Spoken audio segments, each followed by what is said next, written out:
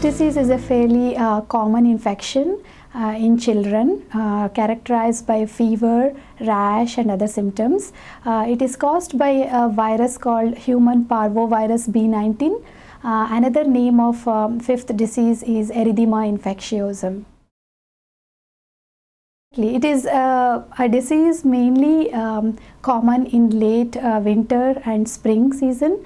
And uh, the symptoms are almost similar to a cold uh, or a flu but uh, it is characterized by this rash which might be there in um, uh, some children uh, it is uh, bright red rosy rash um, on both the cheeks which gives a characteristic slap cheek appearance. Some children might have joint pain, joint uh, swelling but it is ma mainly common in adults.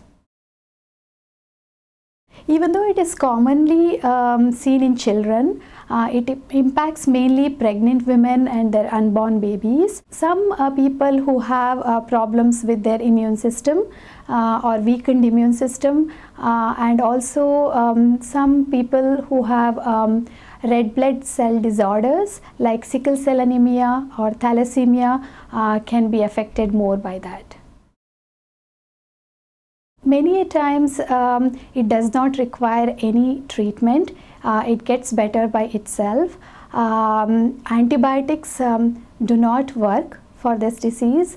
Um, some children who have joint pain or high fever may require more supportive treatment.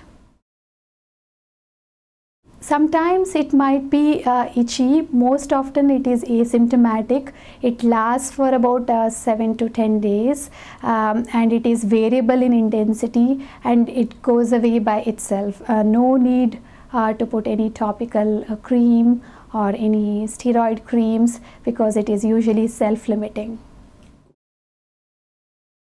Parvovirus uh, spreads through respiratory secretions like in saliva, um, through um, mu nasal mucus, sputum, uh, when an infected person coughs or sneezes. This uh, parvovirus is mainly contagious when you seem like you have a cold before the appearance of a rash. After the appearance of rash, you are uh, probably not contagious.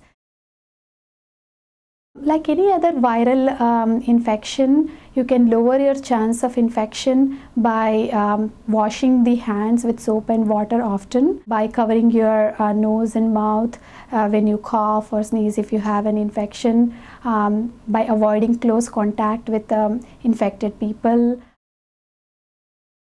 Keep a watch on uh, fevers.